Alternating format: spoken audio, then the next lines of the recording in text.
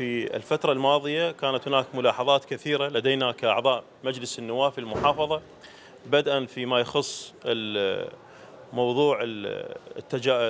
البيوت الزراعية أو ما يطلق عليه طابو 20 أو 25 تحديدا وما وصل إليه من تهديم لهذه البيوت كان لنا رأي في هذا الموضوع أنه إحنا كحكومة محلية بالمحافظة ودورنا كمجلس نواب متابعين أنه نقدم الخدمات للمواطن الميساني وأن لا نمضي بهذه الإجراءات.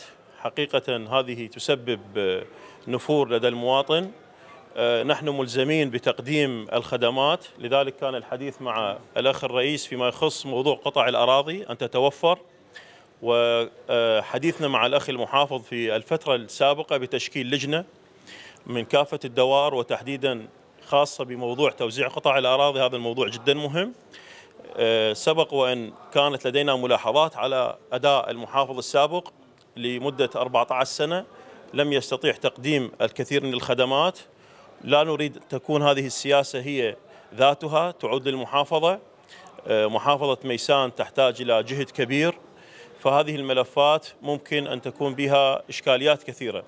السيد رئيس مجلس الوزراء المحترم قام بتشكيل الجهد الهندسي الكبير بالمحافظات بصورة عامة وأعطى مساحة كبيرة بتقديم الخدمات حتى ما يطلق عليه بالتجاوزات أو الحواسم في محافظة ميسان وباقي المحافظات.